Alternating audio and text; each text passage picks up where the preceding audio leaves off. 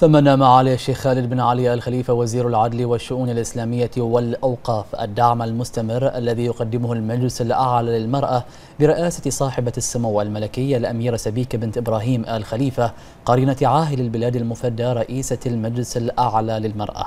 لتطوير منظومة حماية الأسرة بما يدعم استقرارها وتماسك نسيجها الاجتماعي. جاء ذلك خلال الافتتاح الرسمي لمكاتب التوفيق الأسري في مركز سترة الاجتماعي ومركز المحرق الاجتماعي كفرعين لمكتب التوفيق الأسري الرئيسي. وقال معاليه إن تشغيل هذين الفرعين يهدف إلى تعزيز وتنويع الوسائل البديلة لتسوية المنازعات معتبرا بأن افتتاح المكتبين يأتي كمرحلة أولى تمهيدا لتغطية حاجة الأسر للمكاتب في جميع المحافظات.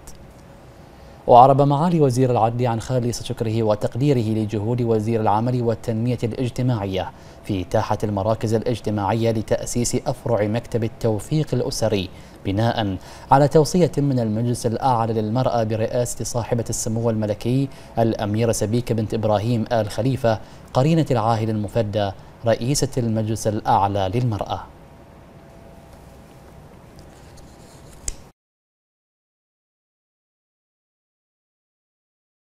وزارة العدل والشؤون الإسلامية والأوقاف أول جهة تستجيب إلى آه، الإطار الموحد لتطوير الخدمات الأسرية وتطوير آه، البرامج التوعوية الأسرية. فبالتالي نشوف بأن من خلال فتح الأفرع سيتم توسيع تقديم خدمة التوفيق الأسري على مستوى كافة المناطق اليوم. مملكة البحرين من بعد تطوير الخدمة على مستوى مبنى القضاء الشرعي موجود اليوم بالرفاع فاليوم آه، إن شاء الله آه، مع هذه الافتتاح آه، سيتم تنفيذ وتحقيق أول برنامج أو مبادرة تحت مظلة الإطار والذي تم وضعه وإعداده من قبل المجلس الأعلى للمرأة الفكرة من وجود هاي المكتبين هو امتداد للمكتب الأساسي اللي موجود في الرفاه آه، عشان يكون في أكسس على الخدمات اللي موج... اللي تقدم للمواطن البحريني آه، فهي إن شاء الله بتكون مرحلة أولى.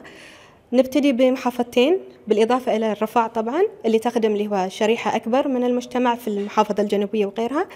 وإن شاء الله في المستقبل لما تنجح التجربة راح نعممها على محافظات البحرين كلها. الفكرة من وجود هاي المكتبين طبعا تقدم خدمات للتوفيق الأسري آه، تقدم الإرشاد الأسري في طبعا أخصائيين بالإرشاد الأسري.